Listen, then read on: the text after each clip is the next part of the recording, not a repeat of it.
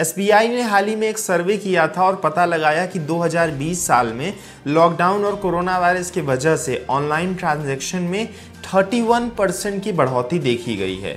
India में 31 percent की बढ़ोतरी मायने रखती है। लोग इंटरनेट से जुड़ रहे हैं, ऑनलाइन ट्रांजैक्शन कर रहे हैं, खातों में पैसे भेज रहे हैं, मात्र अपने मोबाइल फ़ोन से। लेकिन कई बार ऐसा होता है कि हम गलतियाँ करते हैं और गलती से किसी और के खाते में पैसे भेज देते हैं। उस सिनेरियो में हमें क्या करना चाहिए, आइए इस वीडियो में आपको बताने वाला हूँ। अगर आपने भी ये मिस्टेक किया है लाइफ में और आपने अपने पैसे डुबा दिए हैं, या फिर अगर आप ऑनलाइन ट्रांजेक्शन करते हैं, आगे ये मिस्टेक आपसे हो गई तो फिर आपको नेक्स्ट स्टेप क्या लेना चाहिए? सबसे सटीक उपाय क्या है जिससे कि आपके पैसे आपको वापस मिल जाएँगे? इस देश के नियम अनुसार आइए इस वीडियो में हम जानते हैं। आगे बढ़ने से पहले दोस्तों, इस वीडियो को लाइक करें और अपने इस चैनल हिंदुस्तानी हेल्पर को सब्सक्राइब करके बेल आइकन प्रेस कर लें, ताकि आप इन्फॉर्मेशनल वीडियोस देखते रहें। और मुझसे पर्सनली जुड़ना हो तो डिस्क्रिप्शन में प्रोवाइडेड लिंक से इंस्टाग्राम पर फॉलो करें। हेलो दोस्तों, नमस्कार। प्रयागराज से मैं प्रवीण महुलियार। इस नई वीडियो में आपका स्वागत है।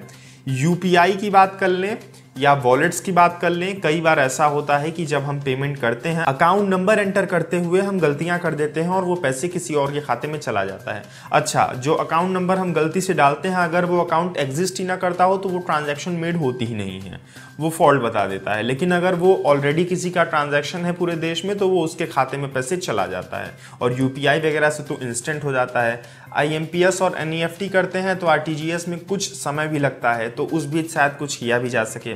अब मैं आपको बताऊँगा कि अगर आपने ट्रांजैक्शन कर दिया, आपके खाते से पैसे कट गए तो क्या करिए? सबसे पहले तीन दिन के अंदर ही बैंक जाइए। बैंक जाने के बाद मैनेजर को एक लिखित एप्लीकेशन देना पड़ेगा कि ये गलती से हुआ ट्रांजैक्शन है। आपको अपने बैंक के कर्मचारियों को ये यकीन दिलाना होगा कि ये ट्रांजैक्शन गलती से हुए हैं, क्योंकि बहुत सारे लोग ऐसा फ्रॉड भी करते हैं कि वो ट्रांजैक्शन किसी पेमेंट के लिए करते हैं और फिर बाद में कह देते हैं कि हमें ये पैसा गलती से भेज दिया है ताकि हमें पैसा वापस मिल जाए। आपको उनको यकीन दिलाना होगा कि ये ट्रांजेक्शन गलती से मेक हुआ है, कोई डील नहीं है, आप उस शख्स को नहीं जानते हैं।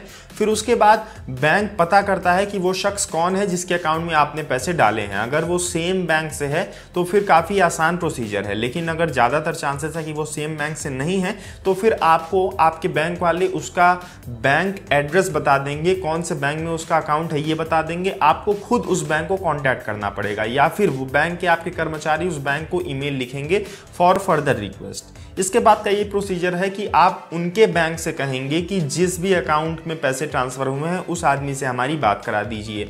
बात कराने के बाद का प्रोसेस ये है, आपको उनसे रिक्वेस्ट करना पड़ेगा कि हमारे पैसे आप वापस भेज दीजिए। ये केवल पहला तरीका है। आपको रिक्वेस्ट करना पड़ेगा, उनको मनाना पड़ेगा कि ये पैसे गलती से गए आपके खाते से आप भेज दीजिए। पचास साठ परसेंट चांसेस में पैसे वापस भेज देता है इंसान। लेकिन अगर इंसान के मन में खोट है या फिर आप उस इंसान को खोज पाते ही नहीं हैं तो फिर आप लीगल एक्शन ले सकते हैं उसके लिए आपको किसी लॉयर के पास जाना पड़ेगा और उनको बताना पड़ेगा पूरा हादसा। वो लीगल एक्शन लेंगे। अगर आपके साथ फ्रॉड होता है तो फिर आपको तीन दिन के अंदर एफआईआर करने की ज़रूरत है। और एफआईआर की कॉपी आप सभी को बैंक में जमा करनी है। आप ऑनलाइन एफआईआर भी कर सकते हैं। काफ़ी आसान प्रोसीजर है। ये जो तरीका मैंने बताया है, यही एकमात्र तरीका है अपने देश में। अगर आप गलती से पैसे किसी खाते में डाल देते हैं तो पैसे वापस लाने का और कोई तरीका नहीं है। अगर वो आदमी आपको पैसे देने के लिए नहीं मानता है, आप लीगल एक्शन लेते हैं तो फिर समय लगेगा। कोर्ट कचहरी का मामला जानते ही हैं टाइम टेकिंग प्रोसेस है। लेकिन जब कोर्ट बाद में ऑर्डर करेगा प्रूफ कर देंगे आप कोर्ट में कि कोई डील नहीं है, गलती से पैसे ट्रांसफ़र हुआ है तो फिर आपको आपके पैसे मिल जाएँगे, उस आदमी को लौटाना ही पड़ेगा, नहीं तो उसको सजा होगी। यूपीआई में भी सेम प्रोसीजर होगा गूगल पे फ़ोन पे वगैरह में भी सेम प्रोसीजर होना है। आपको बता दूँ यूपीआई में कई बार ऐसा होता है, हम ट्रांजेक्शन मेक कर देते हैं, पर सामने वाले के खाते में पैसे नहीं पहुँचते और पैसे कट जाते हैं। तो ये जो प्रॉब्लम है यूपीआई में अक्सर आता है, दो दिन का वर्किंग डे का समय लगता है और पैसे सामने वाले के खाते में पहुँच जाते हैं।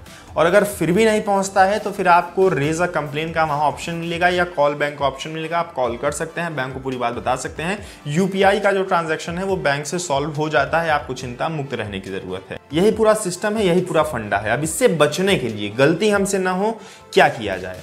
दो बार अकाउंट नंबर डालना होता है कभी भी ट्रांजैक्शन जब आप करते हैं तो डबल चेक करिए। फिर भी गलती हो गई है तो फिर एक छोटा ट्रांजैक्शन मेक करिए। मान लीजिए आपको किसी को एक लाख रुपए भेजना है तो आप उसको पहले सौ रुपए भेजिए और उससे पूछिए कि आपके खाते में पैसे आए हैं और जब पैसे चले जाए सौ रुपए तो बाकी के पैसे आप भेजिए। हमेशा एक छोटा पेमेंट करके चेक किया करिए इफ़ पॉसिबल ये सबसे सटीक और प्रैक्टिकल तरीका है गलतियों से बचने मैं खुद ऐसा ही करता हूँ और मेरे साथ आज तक कोई ऑनलाइन फ्रॉड नहीं हुआ है। आप सजग रहिए, सावधान रहिए, यही मेरी आपसे रिक्वेस्ट है। हिंदुस्तानी हेल्पर चैनल को देखते रहिए हम हमेशा आपको इन्फॉर्मेशनल टिप्स एंड ट्रिक्स बताते रहेंगे। फ़िलहाल के लिए दीजिए मुझको इजाज़त। जय हिंद, जय भारत।